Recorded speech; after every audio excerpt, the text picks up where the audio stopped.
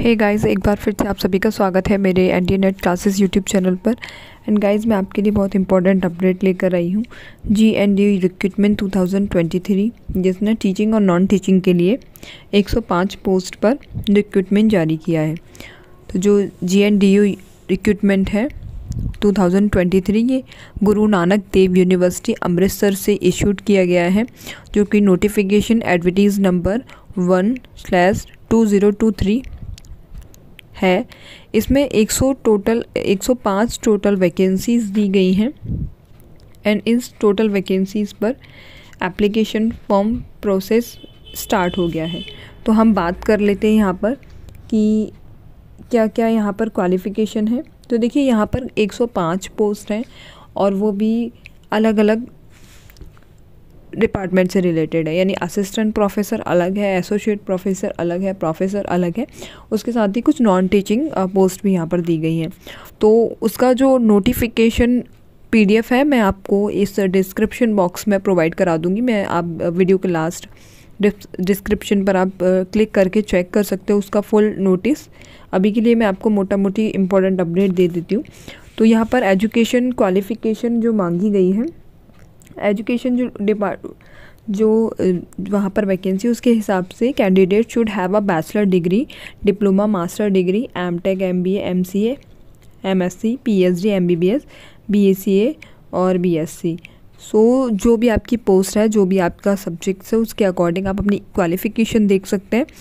तो पीजी होना चाहिए, मास्टर डिग्री कंप्लीट होना चाहिए। ये यहाँ पर दिया गया है कि किसी भी बोर्ड यूनिवर्सिटी इंस्टीट्यूट से होना चाहिए। और for more education qualification detail के लिए आप नोटिफिकेशन ऑफिशियल जो दिया गया है, वो वहाँ पर जा सकते हैं। ठीक है? नेक्स्ट देखते हैं। एज लिमिट की बात करें। तो एज लिमिट पे the candidate age limit should be maximum fifty two years तो should be maximum fifty two years तक के यहाँ पर अप्लाई कर सकते हैं मैक्सिमम एंड एज रिलैक्सेशन मिलेगा S C S T O B C P W and P H candidates को। जो गवर्नमेंट नॉर्म्स रहता है, उसके अकॉर्डिंगली वो अपना अप्लाई कर सकते हैं। उनको रिलैक्सेशन रहेगा इसमें। अब बात कर लेते हैं, ये प्रोसेस जो है, किस प्रकार से रहेगा? तो जी एन डी यू जो जॉब 2023 अप्लाई की गई है, ये professor director M S security guard dean सौ पाँच पोस्ट दी गए हैं। इंपॉर्टेंट डेट्स ये रहेंगी। इंपॉर्टेंट डेट की बात करें तो। Opening date for online registration of application तो जो एप्लीकेशन फॉर्म है वो 11 जनवरी से स्टार्ट हो चुके हैं और जो लास्ट डेट है रजिस्ट्रेशन को सबमिट करने की, वो आपकी थर्टी फ़र्स्ट जनवरी, यानी इकतीस तारीख तक आप इस एप्लीकेशन फॉर्म को फिल कर सकते हैं। ये प्रोसेस ऑनलाइन प्रोसेस है, आपको ऑफलाइन कोई भी डॉक्यूमेंट अपलोड नहीं करना है। किसी भी तरीके का फॉर्म नहीं फिल करना है लेकिन जब आपका ये फॉर्म फिल हो जाए लास्ट सबमिट हो जाए, उसके बाद जो प्रिंट आउट है, वो हार्ड कॉपी आपको सबमिट करना है सत्रह फरवरी तक। तो ये कंपलसरी है। यहाँ पर चलो बात कर लेते हैं फ़ीस डिटेल की।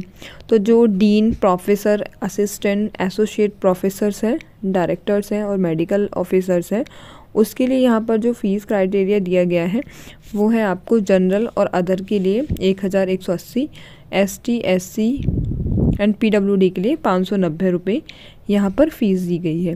ठीक है अदर जो नॉन टीचिंग पोस्ट है, उसमें आपका क्लर्क एंड सिक्योरिटी गार्ड के लिए जनरल के लिए नौ सौ चौवालीस रुपये है। S C S T P W के लिए चार सौ इकहत्तर रुपये यहाँ पर दिए गए हैं। ठीक है पे पे स्किल की यहाँ बात कर लेते हैं कि पे स्किल क्या रहेगा। तो यहाँ पर आपको, देखिए डीन एंड प्रोफेसर के लिए यहाँ पर रुपीज़ में दिया गया है एक लाख चवालीस हज़ार दो सौ रुपये तो ये पे स्केल रहेगा। असिस्टेंट प्रोफेसर की बात करें तो यहाँ पर सत्तावन हज़ार सात सौ रुपये आपका पे स्केल रहेगा असिस्टेंट प्रोफेसर के लिए।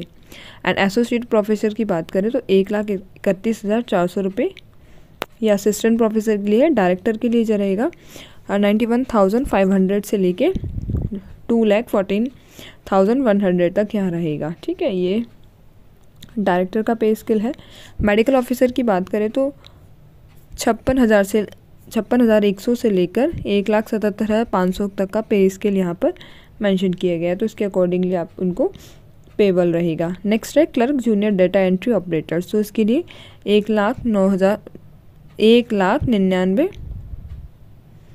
सॉरी, यहाँ पर इनके लिए उन्नीस हज़ार नौ सौ रुपये का पे स्केल रहेगा। ये है clerk junior data entry operators के लिए और सिक्योरिटी गार्ड के लिए यहाँ अठारह हज़ार से लेकर छप्पन हज़ार नौ सौ तक का पे स्केल शो किया गया है। ठीक है तो ये पोस्ट के अकॉर्डिंगली इनका पे स्केल यहाँ पर दिया गया है। तो अप्लाई कैसे करना है? इजी आपको इसकी वेबसाइट है। उस पर विज़िट करना होगा। एप्लीकेशन फॉर्म ऑनलाइन मोड में ही फिल करी जाएँगी। जॉब लोकेशन आपकी अमृतसर, पंजाब में है। जो एलिजिबल कैंडिडेट है, वो ऑफिशियल वेबसाइट पर जाकर अप्लाई एप्लीकेशन फॉर्म फिल कर सकते हैं थर्टी फ़र्स्ट जनवरी से पहले पहले और हार्ड कॉपी उनको सत्रह फरवरी से पहले पहले वहाँ सबमिट करना है। ठीक है? और जो एग्ज़ाम प्रोसेस रहेगा सिलेक्शन प्रोसेस रहेगा candidate will be selected selected based on the written test practical and interview so जो प्रोसेस है, वो आपका रिटर्न एग्ज़ाम बेस्ड रहेगा प्रैक्टिकल होगा, उसके बाद इंटरव्यू होगा आपका। ठीक है नोटिफिकेशन एडवर्टीज़मेंट में दिया गया है। फुल्ली डिटेल्स आपको दिए गई हैं एप्लीकेशन ऑनलाइन फॉर्म फिल करना है। इसकी लिंक में भी आपको डिस्क्रिप्शन में प्रोवाइड करा दूँगी।